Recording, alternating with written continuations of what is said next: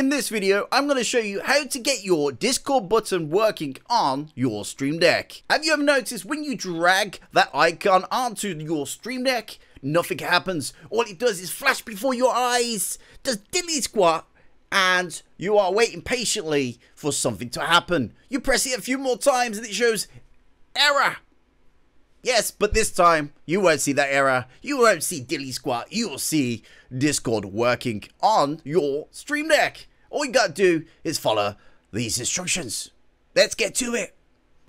So what you want to do is go to the left hand side of your PC to your start menu.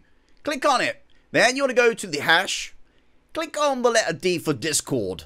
And then click on the Discord folder. What you want to do is right click on the icon go to more, then open file location. Once you're there, this folder will pop up. What you want to do is right click on Discord again, and then you want to open file location for the second time. Click on it. Now you will see this. And what you want to do is click on the one says app, and you want to click on the one where it recently updated. Click on that with the left click. Then you will see another icon with Discord, and what you want to do is hold that with your left button and drag it into your Discord. And there we go. We now have a working Discord button. And what you do, you can click that and your Discord will open like magic. Like, like you've been waiting for that moment for it to happen. And there you go. That moment has happened. And now you have your Discord. But do you want to see some more?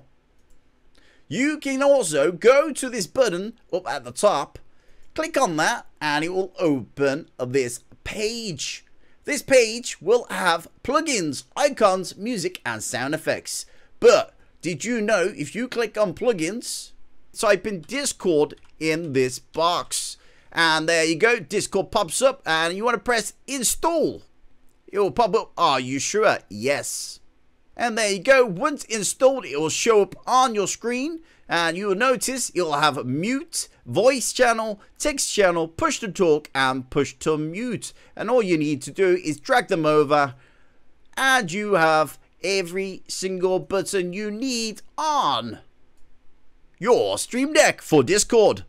Once you drag them all into your Stream Deck, you now have all the options of your Discord and you can use them on your Stream Deck. You got mute, you got headphones, you got music, you got the microphone and you can do all that using your Stream Deck. Now, I hope this video has helped you get your Discord working on your Stream Deck with the added features of mute, the sound, and channel switching. Now, if you want some more videos, don't forget to hit that like button, hit that subscribe button, and come back to this channel for some more tips and tricks on OggOne's gaming channel. Ho ho! Gaming. Oh, that's what I do. Oh, I don't do it very well though. Do I? Hmm. Or do I? Goodbye.